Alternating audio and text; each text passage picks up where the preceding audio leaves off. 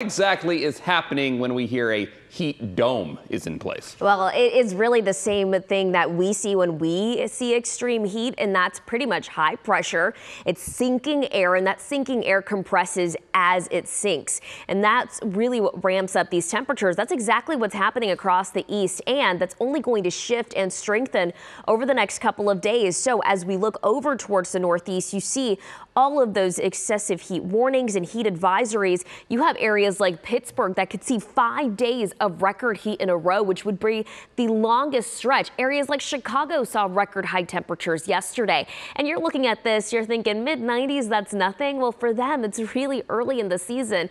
Numbers like this are extreme and they don't happen until late July or August. So again, early in the season, and then you have infrastructures that are not quite uh, ready for temperatures that are this high. And think about overnight temperatures. They're not cooling down too much. That doesn't allow bodies to cool down.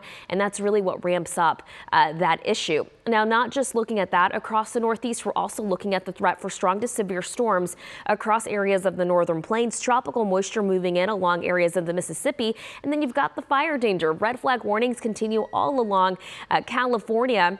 And because of the ongoing wildfires, also dealing with air quality issues. We're looking at anywhere from Los Angeles to San Diego, moderate to unhealthy air quality. And that is a big stretch of the area. And unfortunately, this area tends to uh, uh, get what's called a marine time inversion. Basically, what that means is that a lot of the pollution gets stuck and they're just inhaling that for days to come. So even after the wildfires are, are well and done, the air quality will remain an issue for days and days afterwards, Mark. Not even a summer, still hot already. Thanks, Marielle. As we look